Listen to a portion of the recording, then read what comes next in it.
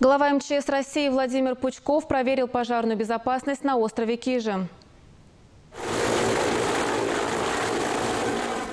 На борту вертолета МЧС министры Российской Федерации Владимир Пучков и Михаил Абызов, а также руководитель региона Артур Парфенчиков.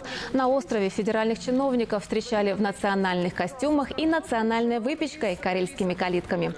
Первым делом делегация из столицы осмотрела пожарно-спасательную часть на острове, спецтехнику и вооружение, а также вручили кишским пожарным награды за службу.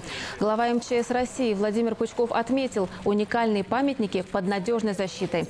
На острове используются самые современные технологии, автоматизированные противопожарные системы, моментально реагирующие на задымление и возгорание.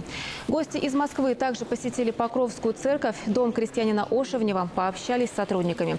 А с директором музея Еленой Богдановой чиновники обсудили вопросы обеспечения безопасности объектов культурного наследия на заповедном острове, проблемы транспортной доступности музея и перспективы его развития.